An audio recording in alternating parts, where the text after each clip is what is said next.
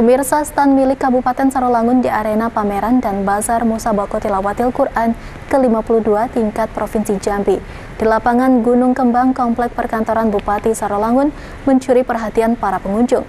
Pasalnya stand ini selain menampilkan berbagai produk kerajinan dan olahan makanan khas Sarolangun, juga memperlihatkan koleksi Al-Quran kuno yang sudah 500 tahun lamanya.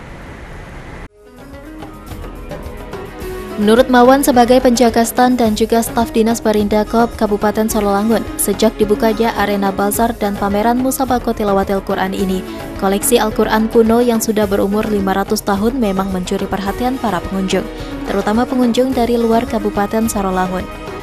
Sementara saat dipertanyakan asal-muasal Al-Quran kuno yang sudah turun-temurun ini, dirinya mengaku kurang begitu mengetahui. Kendati yang dirinya ketahui bahwa Al-Quran ini dibuat sekitar 500 tahun yang lalu dan dibuat dari kulit kayu.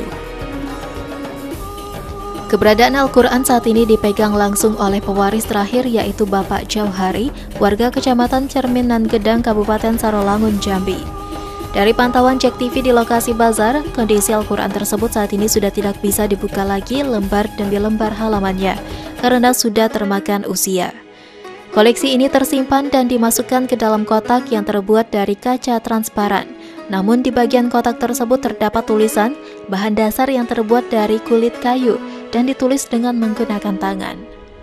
Ini uh, Al-Quran kuno yang ditulis kurang lebih 500 tahun yang lalu dan sekarang dipegang oleh ahli waris terakhir yang beralamat di desa Lumbu Besar, Kecamatan Gedang. Kabupaten Solo.